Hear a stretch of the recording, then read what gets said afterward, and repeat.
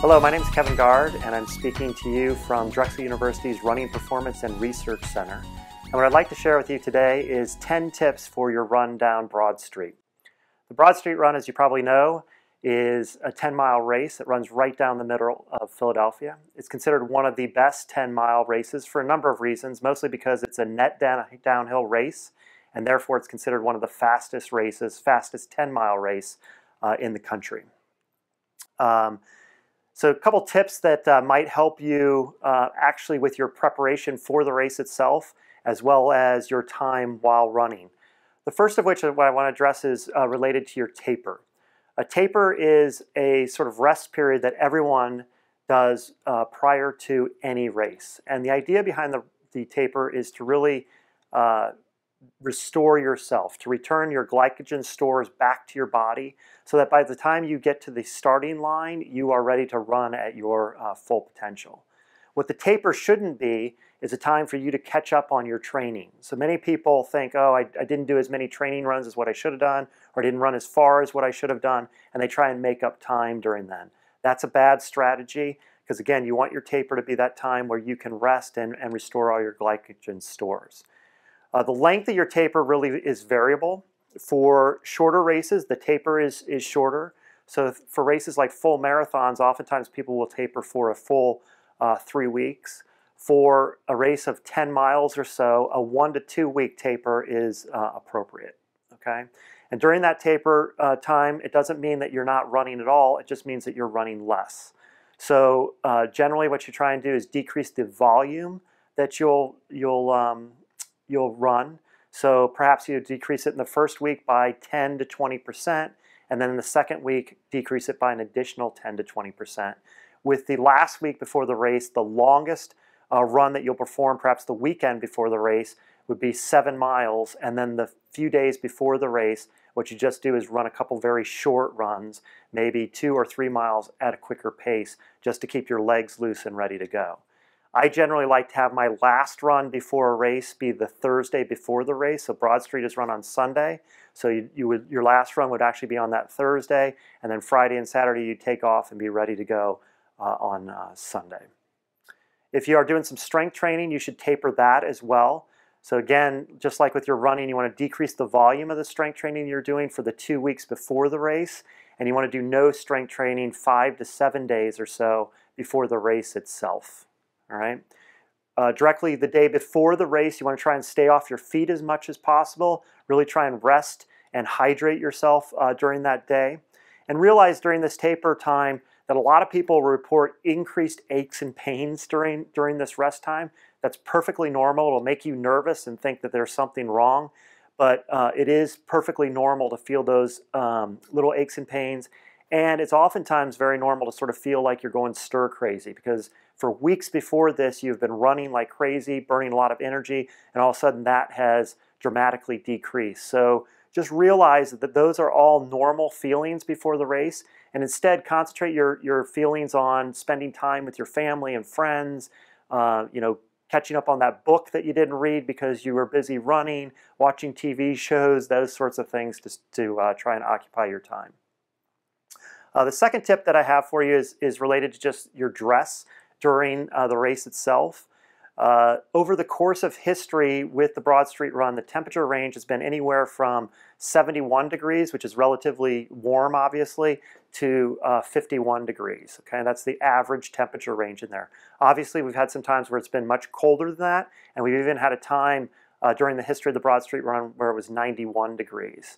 Uh, but the average is between that 71 to 51, so you should dress appropriately for that, realizing that it'll be a little bit cool at the start and then you'll as you run and warm up and as the day warms up you'll you know you'll get warmer and warmer. So oftentimes it's helpful to dress in layers in clothes that you don't care a whole lot about so that you can discard them as you race. So if you have a couple shirts on you can pull one shirt off throw it to the side. There are charity organizations that will come by pick those clothes up and then donate them to uh, people in need uh, the other thing you want to think about with your apparel is that you don't want to wear anything new on race day. Okay, it's uh, the race day is not a time to try out new clothing, new shoes, new socks.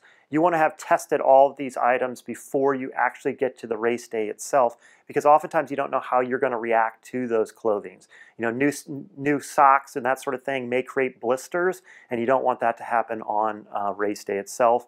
And the big no-no is do not wear the Broad Street uh, Run shirt that's given to you at the expo itself. Again, you didn't train in that shirt, so there's no reason you should be wearing it on that day because you don't know how that shirt may chafe you and, and that sort of thing. Third tip that I have for you is related to goal setting. For any race, I recommend runners uh, create three goals for themselves. The first goal would be the best result. The, the, you know, if everything went really well, the weather was nice, you felt great, you know, what would be the time that you would feel really, really good about? So that would be kind of a stretch goal, if you would. Um, the second goal would be kind of an okay result, that things didn't go perfectly or they didn't go, go the best possible, but they went okay. And then the third goal would be one of those uh, goals that you'd use if the wheels just completely came off. So it was pouring rain that day, or it was really, really cold, or for some reason you ate something the night before that didn't agree with you and you, you had an off day. Um, so it's helpful a lot of times so at, to have those three goals so as you're running, you can kind of adjust to those goals and mentally be prepared for um, what you're experiencing. And the biggest thing around goals and that sort of thing is to be flexible. Realize that one of the, the cruel things about the sport of running is that things don't always go perfectly. Your training can go really, really well, but on that particular day, you may not just run well. So you got to be flexible and adaptable uh, on race day so that um, things can go as best as possible. The uh, fourth tip that I have for you is just relative to the course itself. It's one of the most basic courses um, of any race that I've seen in that the entire race itself stays on Broad Street. So you start at Central High School in North Philadelphia, you run straight down Broad Street all the way to the Navy Yard. So if you ever find yourself on a street that's not named Broad Street, you have taken a wrong turn and you need to turn around and head back to Broad Street so that uh, you can get back on, on course. There are two basic turns on the course and those are basically to go around City Hall itself. But you still say on Broad Street, so it's just a quick right turn, quick left turn to get back onto Broad Street, and then um, you're on your way. Uh, my fifth tip is really about following your routine. So your training as you're getting ready for Broad Street is all about routine. So the number of miles that you run, the clothing that you wear, what you eat, what sort of pace you're uh, maintaining while you run.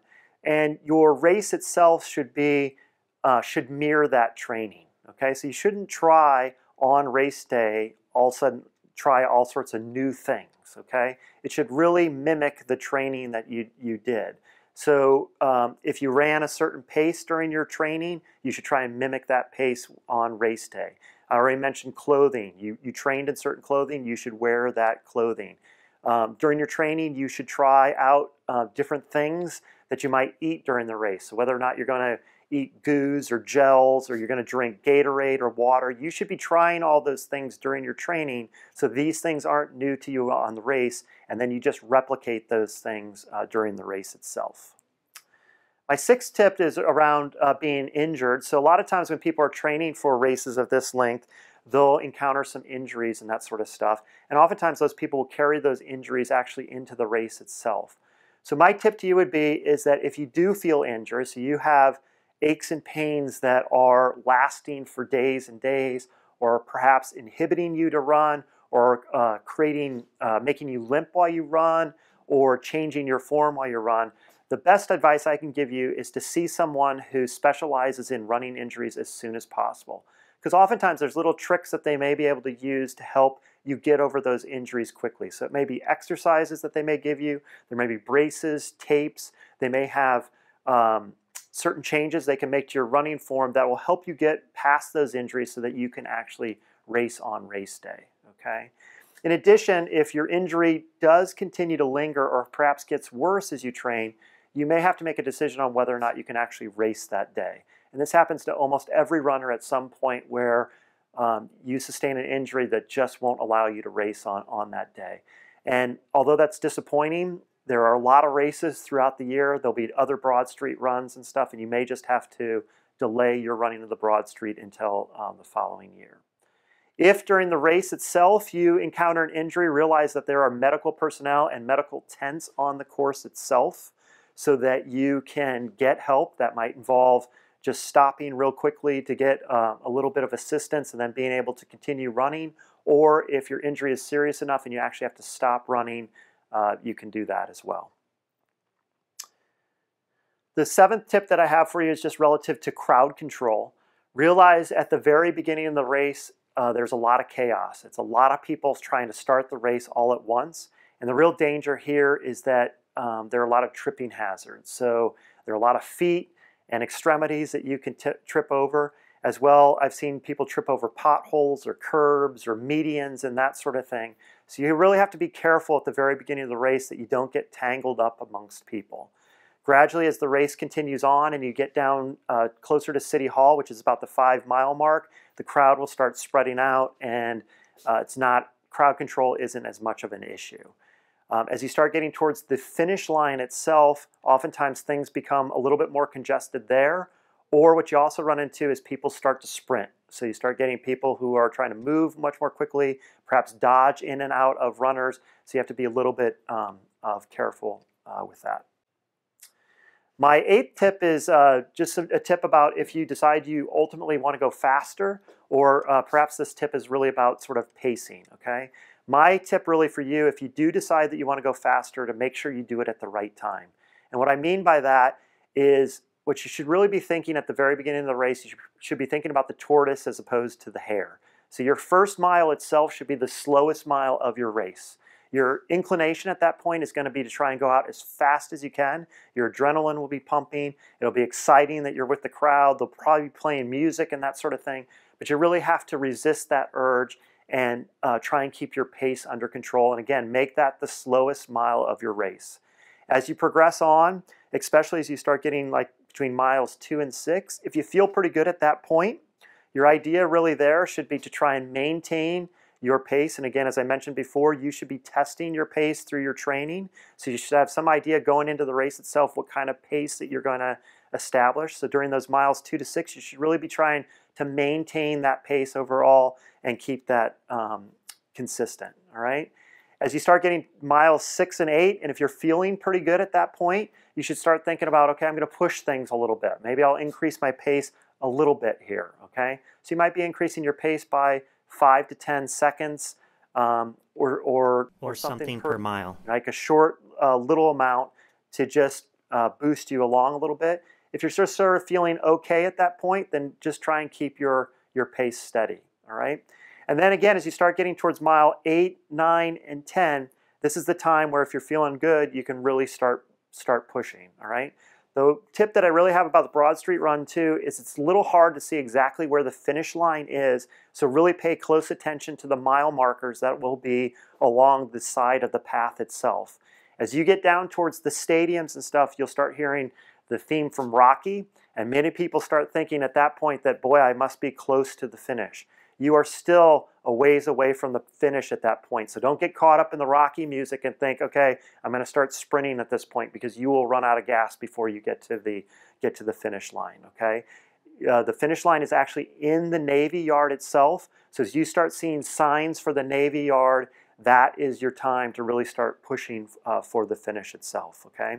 As you're pushing towards the finish, make sure you use your arms, swing your arms a little bit more. That'll get your legs going a little bit faster. Really concentrate about your, really concentrate on your turnover, getting your legs to turn uh, faster and to ultimately uh, finish strong. My ninth tip is, is really about enjoying the race overall. I, there's no statistics that I could find about the percentage of people that actually run a 10 mile race, but about 0.6% of people actually run a half marathon. So if you equate that to like a 10 mile race, it's probably just a little bit more than that, but it's really not a lot of people. Okay, so the one thing you should feel really good about is that you ran a 10 mile race. There just aren't very, very many people who do that overall. The other thing that I would say during the race itself is enjoy the scenery. So enjoy the people that are lining the um, race um, path as you're running along. There'll be people out there that are cheering, that'll be shouting your name and stuff. Really, really enjoy that. The interesting thing about all races too is that people tend to bring signs with them and some of these signs are really, really funny. So make sure you, you take a moment to look at those and to read them and use the humor in them to help kind of fuel you along as um, you run. And the biggest thing about the race is just really rejoice in your fitness. Running 10 miles is not an easy feat at all. So you should really feel good about yourself and feel good about that accomplishment overall. All right. And then my last tip for you is relative just to recovery, which is a very important part of the race itself. So don't forget you did all this training to get in the race, you ran the race, and then it's important to recover after the race itself, okay? And there's a couple tips that I can, can give to you uh, about that. One of the most important things is to make sure you keep moving after the race itself. Don't run the race and then go sit in a beer garden or at home on your couch and that sort of thing and not do any activity at all. Try and at least keep moving. That'll keep your muscles loose, keep blood flowing, that sort of thing, and ultimately will help with your recovery. You might think about doing an ice bath too, which sounds horrible and uh, is pretty much horrible when you do it, but it is really helpful to the recovery overall. Essentially what an ice bath is, is that um, you fill a bathtub up with water. Generally what I do is I'll fill it up with somewhat warm water to begin with, actually get into the bath itself and have ice available to you there, and then you want to pour ice into the water to make it colder as you sit there, okay? The objective here is to get the water temperature to about 54 to 60 degrees in, or so, which is, is pretty cold, and to sit in there for about 10 to 12 minutes or so. What this does is help decrease the inflammation in your legs itself and will ultimately make your recovery um, better. All right. A trick uh, that I use when I do an ice bath is to drink something warm while you're in the ice bath. So have coffee or, or hot tea or hot cocoa or something like that, or perhaps soup, something like that that'll help take your mind off the uh, cold water that you're sitting in. Couple other uh, suggestions around recovery is light stretching in the days after the race is sometimes helpful too. So nothing real, real vigorous, just light stretching to try and loosen up your muscles. Most people will ask us, how quickly can I exercise after the race itself? And that's somewhat dependent upon what your fitness level overall is. If you're an experienced runner who runs races regularly that are longer than 10 miles, then oftentimes you'll be able to start exercise and start running pretty quickly after the 10 mile race itself. But if the 10 mile race, this Broad Street is perhaps your first race of that length, or you don't regularly do these things, I recommend that you take a few days off from strength training and even running so that it gives your body time to recover. So if the race is on Sunday, in that case, you may decide not to run until Wednesday or Thursday of the week. And that run at that point will be at a slower pace and it'll be for a fairly short distance. So it might only be for three or four miles just to try and loosen things up, okay? And you may maintain that for the next two to three weeks, that shorter distance, slower pace, until you really start feeling like you've recovered from the race itself. There's a rule of thumb in the running world that says basically for every mile you uh, race, you really should be resting for a day. So for a 10 mile race, you should be re really resting for a full 10 days, which doesn't necessarily mean you don't do anything during those days, but you shouldn't be back to your regular activity level. All right. So my last tip for you, and I realize this is tip number 11, and I promised to only give you 10, but uh, if you do need help with any of your running needs, whether that's because you're injured or you're just looking to try and become a more efficient runner, we're happy to see you here at the Running Performance and Research Center at Drexel University. So please give us a call at 215-553-7012 and we'd be happy to help you out. Thank you.